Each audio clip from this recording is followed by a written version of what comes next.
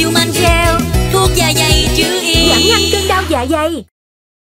Suốt 20 năm chị sống á, là chị đã bị bệnh thần kinh. Chị không nhớ là chị thần kinh từ lúc nào Nhưng có lẽ nó lâu lắm rồi. Chị thấy cái bệnh ở trong cái não chị nó khủng khiếp lắm. Lúc nào cũng vậy Nó giống như là nó căm thù ai đó. Bởi vì sao? Trong con người của mình Mình giận dữ mà mình không dám nói ra Mướn người ta tới, Bỏ vô quan tài, Chở đi liền. Không cần phải một cái đám tang nghi lễ, nghi thức gì hết. Bởi vì sao? Chị nghĩ cuộc đời của chị hết nó đã quá là đáng sống rồi em. Và ai chân tình với mình cũng đã quá rõ. Ai không chân tình cũng đã quá rõ. Nhưng đối với chị, không làm phiền người khác. Bây giờ coi như không chồng, không con. Thiêu xong không đem lên chùa, không có để ở đâu để thờ hết. Chị có ai đâu để mà thờ.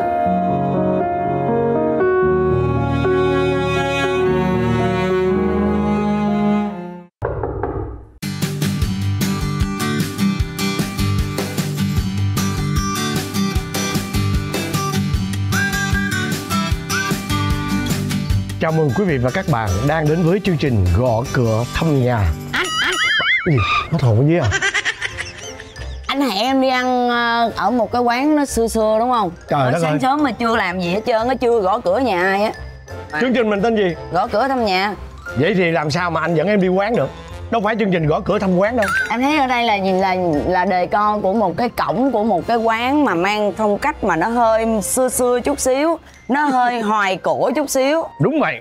Ừ. Ngày hôm nay anh sẽ đưa em đi gặp một nhân vật. Chị nói chung là chị cũng hơi cổ cổ chút xíu. Chị ơi Chị cũng có hoài hoài chút xíu. Đây là nhà của ai biết không? Không. Ủa là nhà hả? Đúng rồi. Wow cái cổng đẹp quá. Nhà này là nhà của chị Tư Chị Tư Cẩm Ly. Phải. Không phải hả? Không phải chị Tư Cẩm Ly đâu. Chứ ai? Chị này là chị Tư. Chị. Cổ cổ như vậy là chị Nguyễn Ngọc Tư. Trời ơi, chị ngưỡng Ngọc Tư chứ Cà Mau á bà. Thôi đừng có đóng đó Em không biết không? Muốn. Mình gõ cửa đi. Nha. Nha. Anh ơi như cửa không có khóa Anh vô được không? Thôi. Đi Ồ Tụi đẹp quá đẹp quá. Gõ cửa sẵn luôn rồi. Ừ. Rồi đẹp lắm luôn mọi người. Giống như ở trong Đà Lạt vậy đó.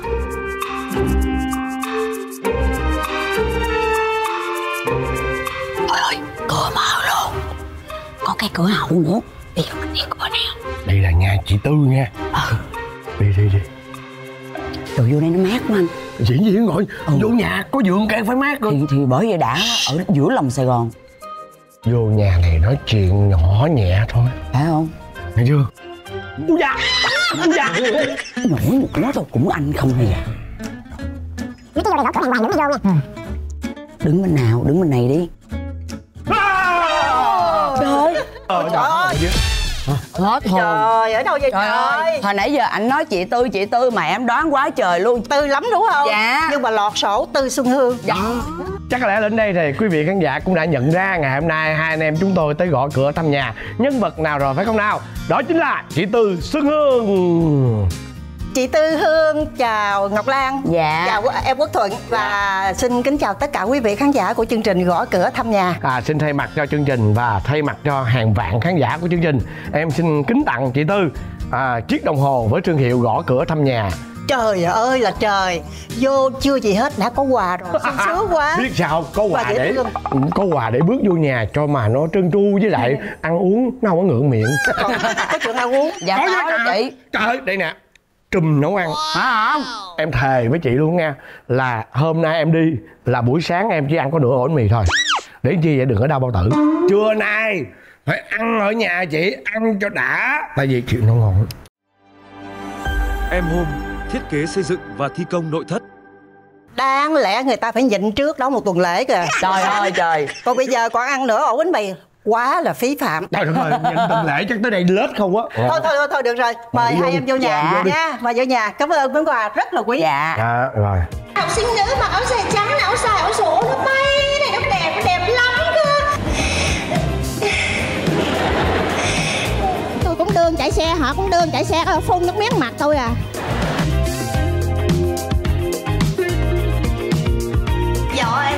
sòn anh muốn hỏi chị cứ hỏi. Em yêu tất cả những người đàn ông.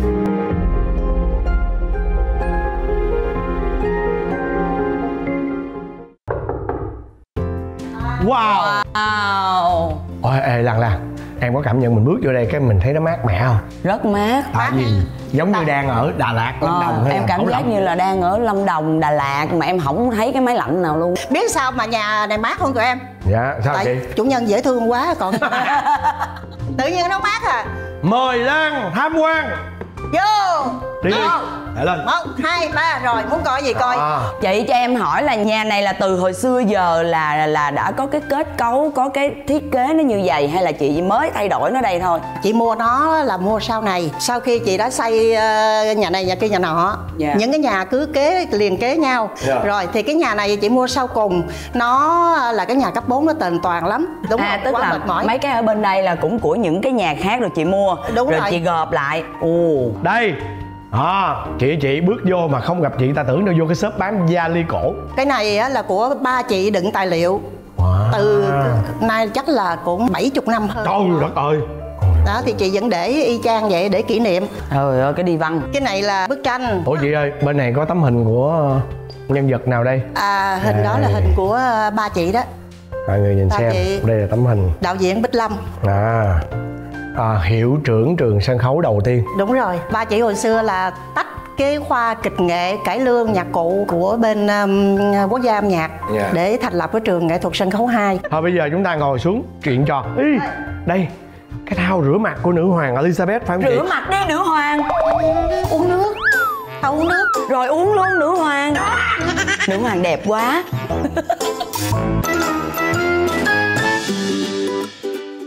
thấy không có tới cái nước dừa nó cũng khác với nước dừa.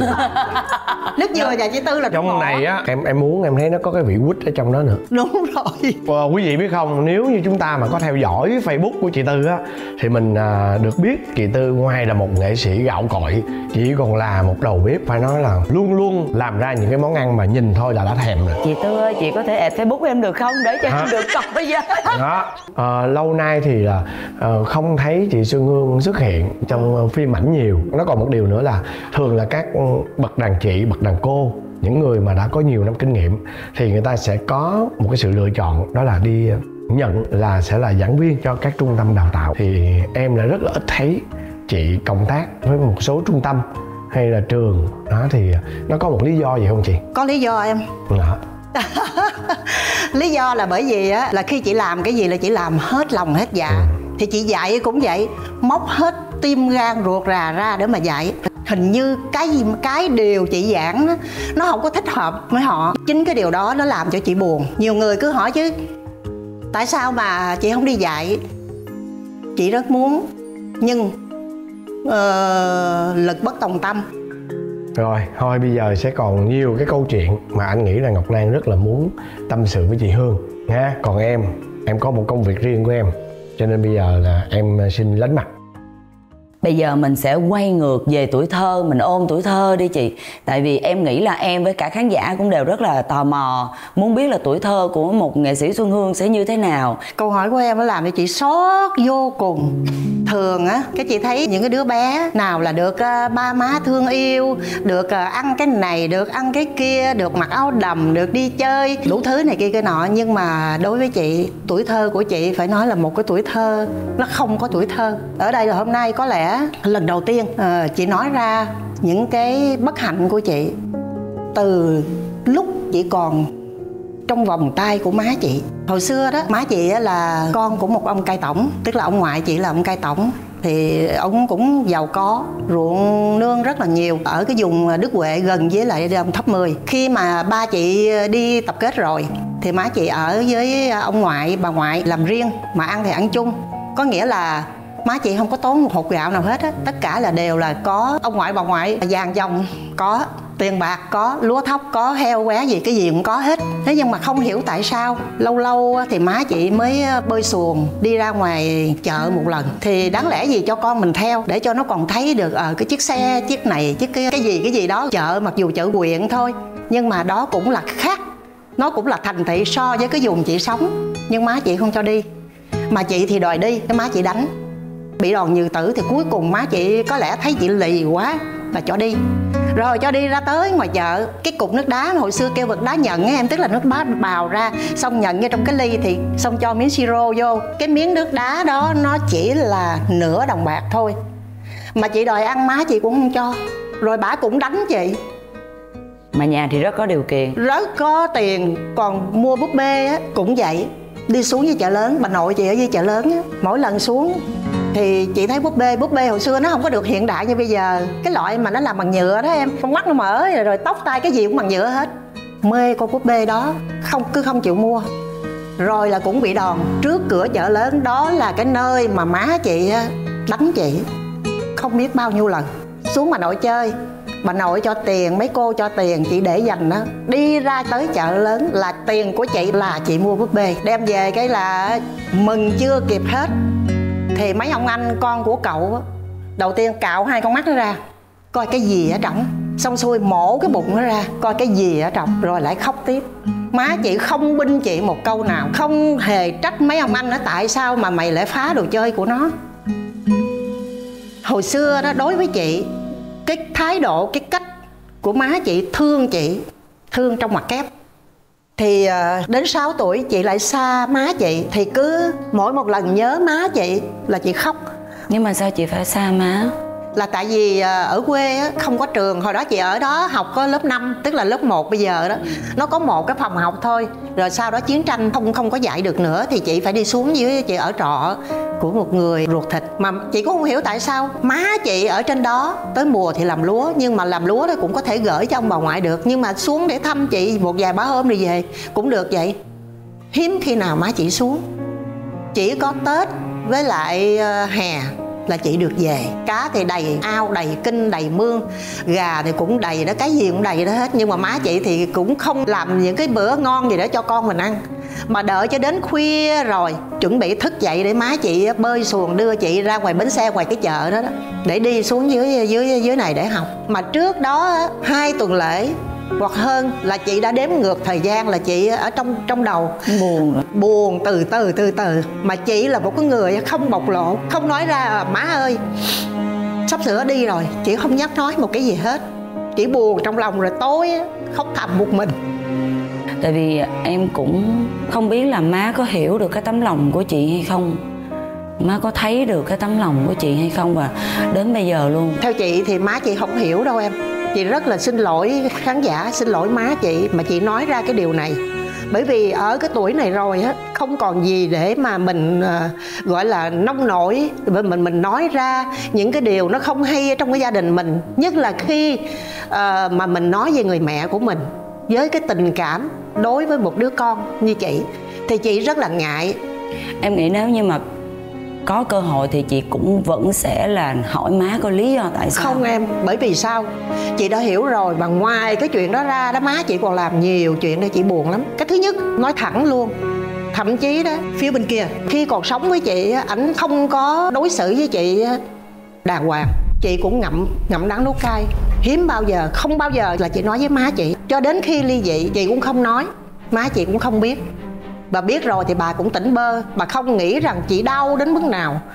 Không hỏi thăm một câu, mỗi một người con, ai có cái tấm lòng với cha với mẹ, đến đâu thì cứ làm. Chị không so bì.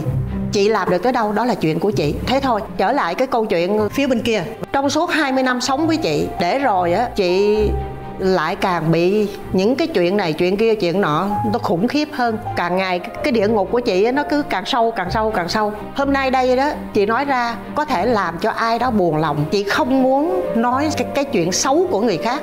Không phải là đặt điều nói xấu. Bởi vì nó là cái câu chuyện đời của chị. Chắc là cái khoảng thời gian đó chị trầm cảm dữ lắm khủng khiếp lắm em bởi vì sao?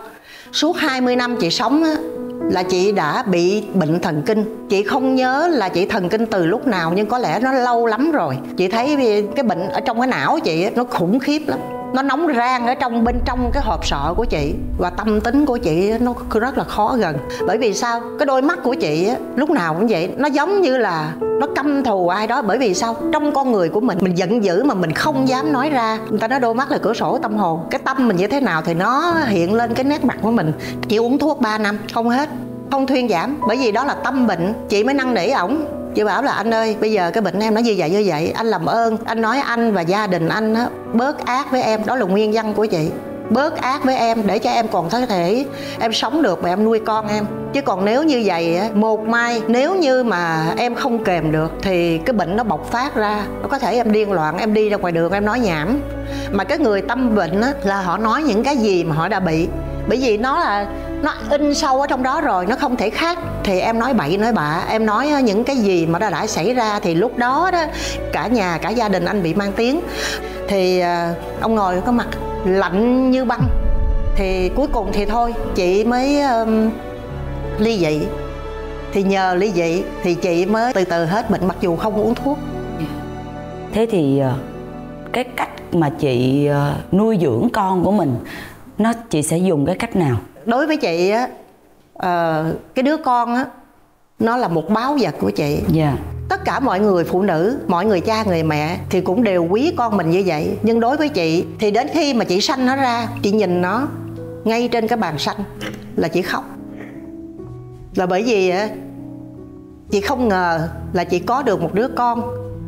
Và chị nghĩ rằng á có lẽ cuộc đời mình từ nay đã thay đổi rồi và chị yêu thương nó chị nuôi nó dạy nó. Theo cái cách của chị thì chị dạy cho nó ngay từ hồi nhỏ. Và chị yêu thương nó hết mực. Nhưng mà những cái đứa con mà con của nghệ sĩ là nó sanh ra dưới một ngôi sao bất hạnh. Bởi vì à, mình cứ phải bỏ nó đi hoài. Em. Dạ, đúng rồi. nó không được gần gũi mình. Nhưng mà chị thì yêu thương nó trong cái điều kiện của chị chị ôm ấp nó chị nhìn nó chị thương nó.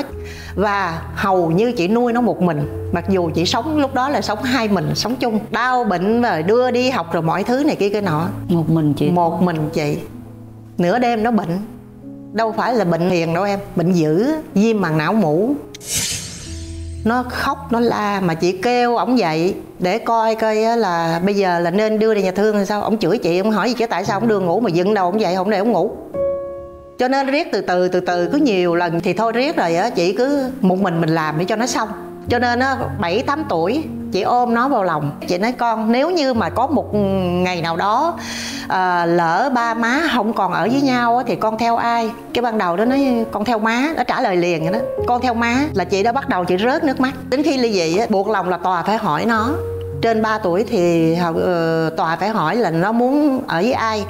Trời ơi trời đó là một cái vấn đề mà chị đau đầu nhất muốn vỡ trái tim chị ra. Bởi vì chị sợ.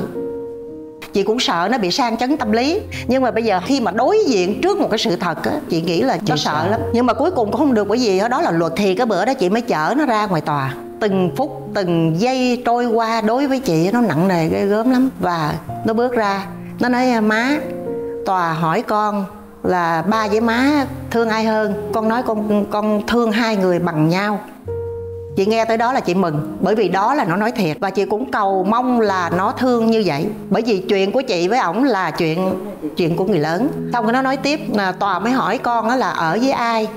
Con nói con ở với má. Tòa hỏi tại sao? Nó nói má lo cho con nhiều hơn. Nước mắt chị nó đổ dài dài dài từ tòa mà về tới nhà đây luôn. Đó là cái phần thưởng của chị trong cái giai đoạn đó. Tòa hỏi chị vậy chứ có uh, yêu cầu cấp dưỡng không? Chị nói không tùy ổng mặc dù chị không biết lúc đó chị không biết là chị nuôi nó bằng cái gì. Em biết á chị đi làm những cái chuyện linh tinh lang tan bởi vì lâu rồi chị không có đi diễn đi đóng phim đi này đi nọ đi show cho ai. Cũng là tòa hỏi ổng nghĩ cái ờ, chứ có cấp dưỡng không? Ổng ổng gật đầu nhẹ có cái thời đó năm 2006 à, 17 năm em này ha? Em có tưởng tượng chị sống bằng một tháng có thể là nó dao động trên dưới 2 triệu. Thế rồi sau đó chị nuôi con như thế nào? Nó học trường công cũng không đóng bao nhiêu. Nói chung là chị có cái gì thì chị nhường cho nó ăn. Tiền à, điện thì cũng không bao nhiêu một tháng đâu chừng à, vài trăm. Và ở giữa cái đất sài gòn này người ta sống bao nhiêu một tháng em? Thế mà chị vẫn gói gọn trong đó rồi cũng sống được và sau đó thì ông có lo cho nó đi học đại học và cuối cùng thì ông dụ nó đi về bển luôn cho đến bây giờ. Tức là bây giờ là chị không ở với con luôn? Ờ, quê với con nó ở đâu bên ổng và không liên lạc với chị trong mấy năm trời năm sáu năm liền. Đó thì như vậy đó em cuộc đời có gì đâu. Đối với chị vẫn bình thường.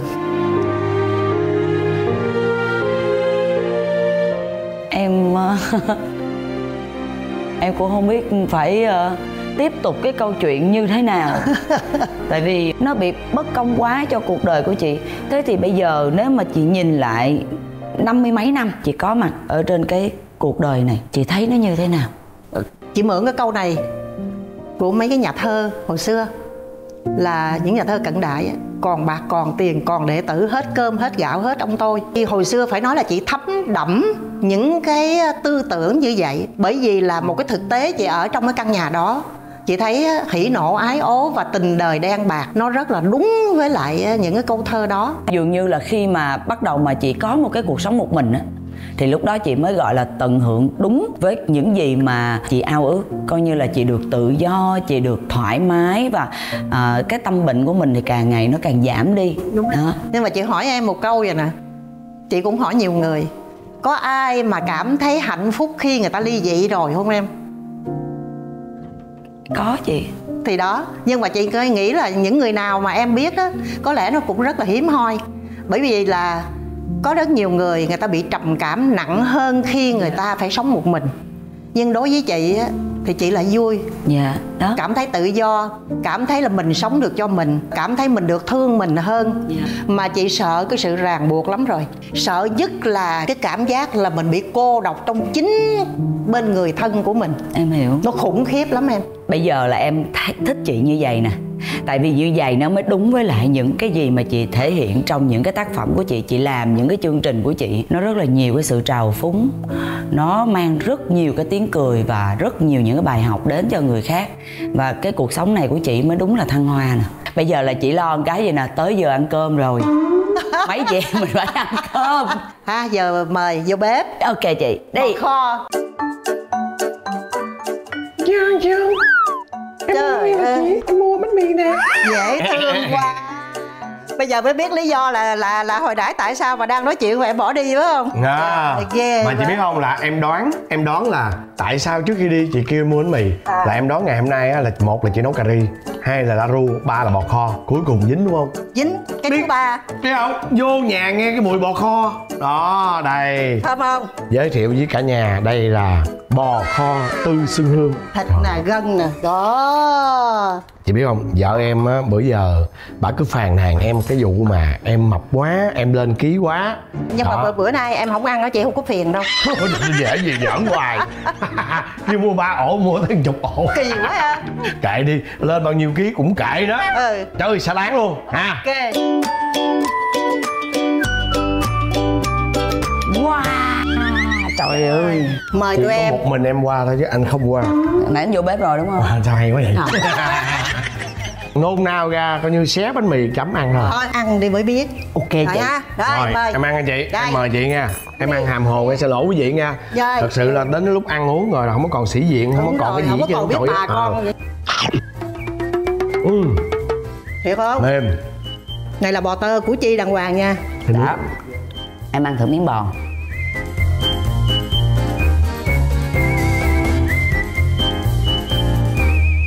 rất là nhiều những cái sóng gió đến với chị. Ở đây không phải là một mình quốc thượng biết Mà gần như là cả thế giới cả thế người. giới đều biết. À, qua truyền thông qua những facebook của chị những cái status của chị mọi người biết hết. Thành ra em không có ngại để em hỏi. Bây giờ cái nỗi đau của chị á, nó còn âm ỉ không? Cái nỗi đau á nó vẫn âm ỉ. Có những câu chuyện từ hồi nhỏ nhưng khi nhắc lại chị vẫn còn khóc. Ngoài trừ những cái lúc đó ra chị vẫn gọi là hồn nhiên chị vẫn vui vẻ bởi vì á mình có sống tích cực thì mình mới chữa lành bệnh tật của cơ thể mình chứ không nói là là, là bệnh tật của tâm hồn của tinh thần. đúng không? Và mình luôn luôn mình mang đến một cái năng lượng tích cực cho người khác. Mà cái điều đó rất là quan trọng. Như chị kể lúc nãy là em đi rồi em không nghe cái đoạn mà nó khủng khiếp. Đó cũng chỉ là 18 chén mà sắc lại cũng một hai phân thôi mà Ngọc Lan ngồi đó nó, nó chịu không nổi. Thí dụ như chuyện con của chị hồi nãy chị kể Ngọc Lan nghe 10 năm 10 năm đúng hơn?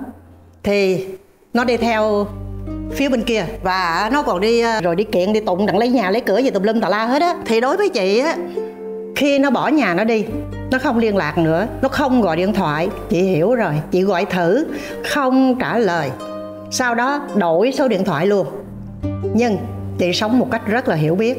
Bởi vì chị nghĩ như thế này, tất cả mọi người không chủ động được cái chuyện mình tồn tại, mình có mặt trên cõi đời này. Nhưng mình, khi mình sanh nó ra, thì mình đã thương yêu nó, mình lo lắng cho nó. Và đến khi nó lớn, nó có sự chọn lựa của nó. Nó chọn lựa như thế nào? Đó là nó tự chịu trách nhiệm với cuộc đời của nó. Cái câu chuyện mà con chị á, em biết là nói gì nói chứ con mà. Thấy không? Nó té một cái thôi, là nó đau một, mình đau tới mười huống chi là bây giờ tất cả mọi thứ nó quay quay phát đi và lại có một cái hành động. Em không biết là có có hiểu lầm hay không. Em không biết là cái câu chuyện, cái cốt lõi nó là gì. Nhưng mà em biết chị sẽ rất là đau lòng. Cái đau lòng nhất của chị là thậm chí có lần chị định mổ tim. Có một người bác sĩ, bạn thân của chị, người ta ở đâu mà biết số điện thoại của nó, gọi cho nó. Kể cả cái cô mà rồi nó gọi là vợ, là sống chung với nó, cô đó bắt điện thoại của nó, mà không hỏi thăm chị một tiếng. Dù là chị với cô đó chưa gặp mặt, chị cũng chưa nhìn nhận đó là dâu. Nhưng ít ra, cái tình người trước cái đã. Nghe người ta nói, cũng phải hỏi một tiếng chứ. Và kể cả thằng con chị nó cũng lại càng không nữa không bao giờ nó hỏi má chết hay má sống. Bởi vì đối với chị á, cái gì chị kể rồi một ngàn lần một trăm lần một tỷ lần nó cũng như nhau. Nó không có khác một cái nội dung tại vì nào. nó là sự thật. Đúng. Thành ra chị không có sợ. Nhưng mà có một cái em biết là anh Bin rất là lo.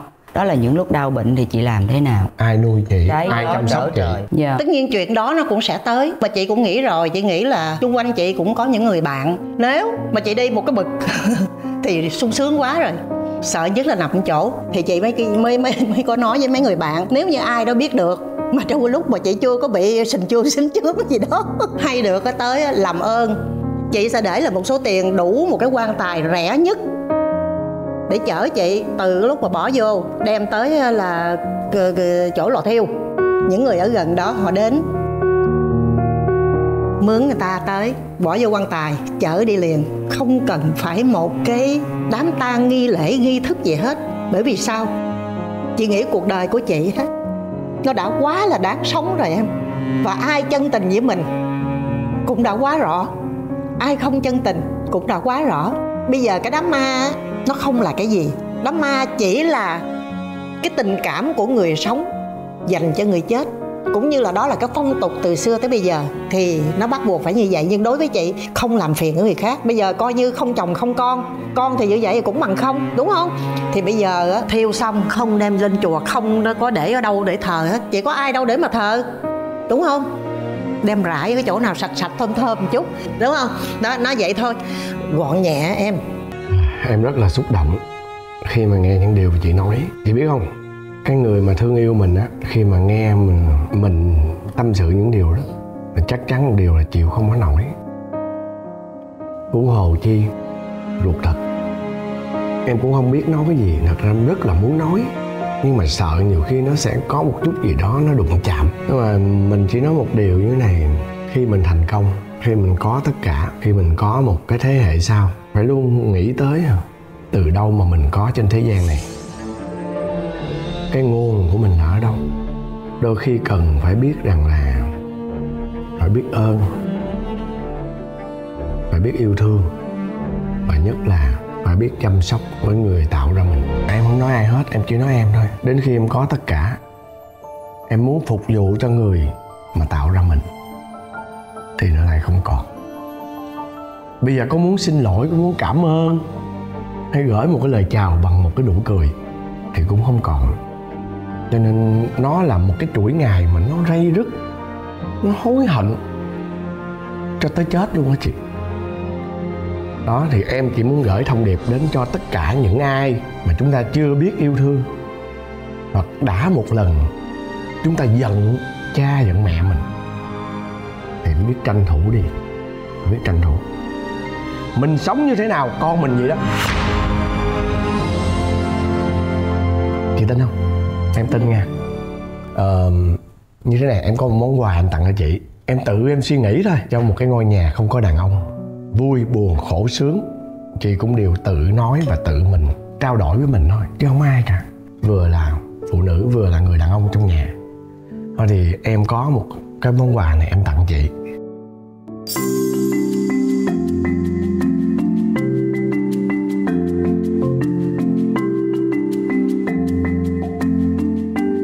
Chào em. Trời. Wow. Wow. Cái shop hoa dễ thương quá vậy.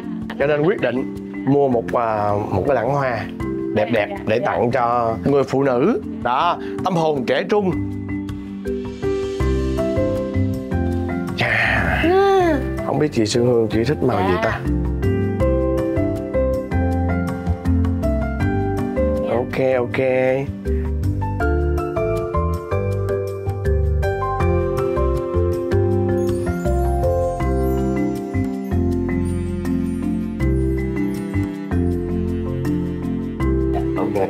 hy vọng đây sẽ là một món quà đến từ chương trình gõ cửa thăm nhà. À, chị Tư Hương sẽ thích và sẽ nhớ đến chương trình cũng như là nhớ đến người em bé nhỏ này. em nghĩ nó đây. Em nghĩ là chắc cũng lâu rồi à, không có à, một cái à, giỏ hoa mà nó trẻ trung như thế này. À, hôm nay nhân cái dịp mà em với Ngọc Lan cũng như chương trình gõ cửa thăm nhà tới đây à, trò chuyện với chị thì em à, đi trên đường em thấy bó cái giỏ hoa này đẹp quá. Gửi tặng chị Tư. Cảm ơn tụi em. Cảm ơn uh, chương trình gõ cửa thăm nhà rất là nhiều. Thật sự hôm nay á Chị rất là muốn vui. Và trong thâm tâm nói chung á là Toàn bộ là nó vui. Nhưng mà Tại vì cuộc đời của chị thì nó nó gắn liền với à, cái buồn nhiều hơn gắn liền với nước mắt nhiều hơn. Và hôm nay tụi em tới đây đã khơi gợi để cho nước mắt của chị đã chảy. Nhưng đó là những cái giọt nước mắt hạnh phúc. Hạnh phúc là bởi vì được tụi em san sẻ được tụi em thấu hiểu cho chị. Cảm ơn tụi em rất là nhiều. Cảm ơn chương trình ờ, gõ cửa thăm nhà. Và kính chúc cho tất cả khán giả được ờ, nhiều niềm vui hạnh phúc trong cuộc sống. Cho em với Lan ôm chị một cái được không? Dạ. Cảm ơn tụi em rất là nhiều. Tụi em làm việc xúc động. Dạ à, nhân đây thì quốc thượng cũng gửi gắm à, các nhà sản xuất và các à, anh các bạn đạo diễn nha. Chị tư hương nha còn lửa dữ lắm nha. Năng lượng dồi dào trí tuệ minh mẫn và tinh tấn nha cho nên là đây một người nếu mà nói về tài năng thì thôi quốc thượng không không, không dám bình luận. À, chị là bậc uh, trưởng bối rồi. Nói chung là vai khó đó. Thì hãy liên hệ với chị Xuân Hương nha để chị lựa chọn chị xuất hiện. Cảm ơn em rất là nhiều. Em sẽ gửi lời chào đến khán giả nè. À, Cảm ơn khán giả đã theo dõi chương trình nè. Hy vọng rằng là những cái à, khoảnh khắc vừa rồi của à, ba chị em sẽ à, làm cho khán giả vui chứ không vui buồn. nè chứ không buồn nè. Cái gì chúng ta ví dụ trong cuộc sống có những lúc chúng ta lầm lỡ à, nhất là những những người làm con á có những lúc chúng ta lầm lỡ thì chúng ta à, hãy nhanh chóng à, dành những cái tình yêu thương dành cho cha mẹ của mình. Và mong là khán giả vẫn yêu thương và ủng hộ chị Tư Hương. À, những dự án sắp tới của chị và ủng hộ những món ăn của chị. À, đúng rồi đó, đúng rồi đó. cảm ơn khán giả rất nhiều. Và bây giờ thì chúng tôi xin phép được chào tạm biệt. Chào